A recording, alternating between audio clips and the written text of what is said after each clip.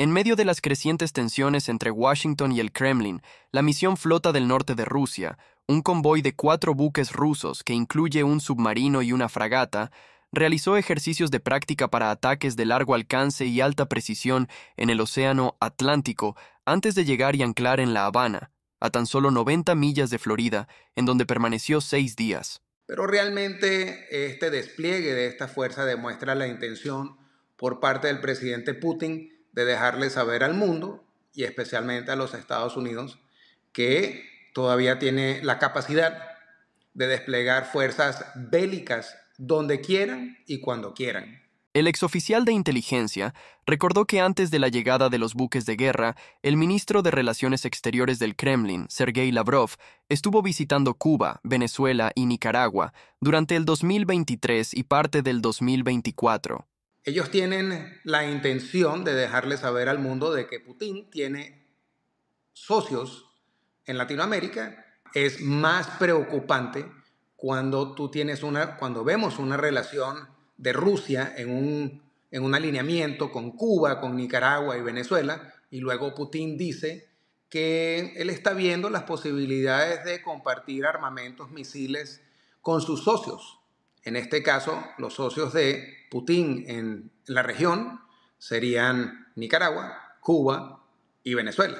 Aparentemente, el arribo de los buques rusos no causó sorpresa para los funcionarios en Washington porque aseguraron que los simulacros de Rusia en el Atlántico son rutinarios. Incluso el asesor de seguridad nacional Jake Sullivan dijo durante una rueda de prensa en la Casa Blanca que era algo que se observa de cerca, con atención y sobre el que no quiso especular. Al respecto, Romero cree que las declaraciones del gobierno estadounidense de que se han mantenido vigilantes en realidad van más allá. Hay que aclarar que si no fuese una amenaza, los Estados Unidos no estuviese desplegando seis embarcaciones, dos aviones, eh, un submarino nuclear norteamericano a Guantánamo, que es el USS Elena,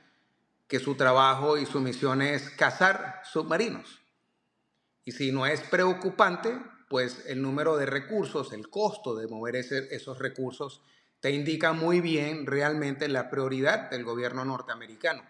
Pueden decir algo en público, pero las acciones me dicen a mí que ellos están vigilando muy de cerca el despliegue de estas unidades. Si bien el exoficial de inteligencia dijo que no cree que la situación actual sea similar a la de la Guerra Fría, sí advirtió que el despliegue de estas embarcaciones es un motivo de preocupación que no hay que desestimar. Estas son plataformas que son capaces de desplegar armamento nuclear.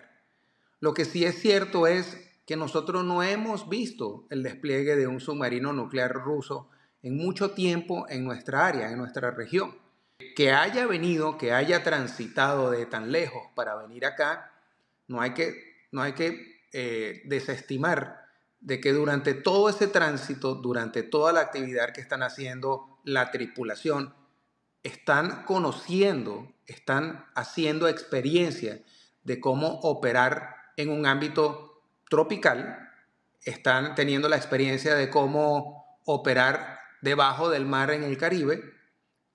experiencia de trabajar con sus socios como Venezuela, como lo es Cuba, como es Nicaragua, y yo entiendo de que Venezuela desplegó por lo menos el buque Escuela, que es un buque para adiestramiento de los marinos, que llegó a Cuba también a tener una pasantía esta semana.